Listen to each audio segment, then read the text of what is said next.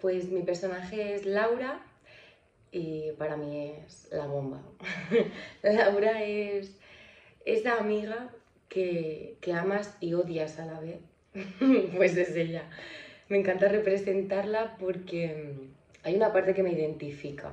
Me identifica en la manera de ser porque no filtra.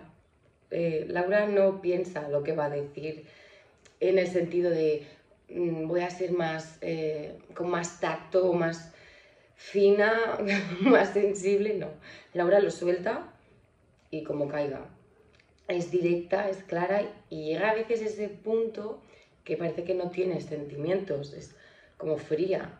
Entonces me gusta, me gusta mucho porque todo el mundo necesita a esa amiga que, te coja y te diga las cosas eh, claras, que no filtre.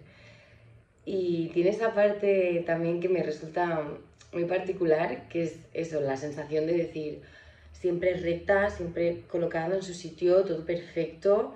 es como, como que todo lo controla, tiene todas las situaciones bajo control y luego realmente es una persona como todos, tiene sus problemas, tiene sus inseguridades y sobre todo, y lo más importante, ella ama a sus amigas. Aunque sea la, la fría del grupo, ella ama a sus amigas.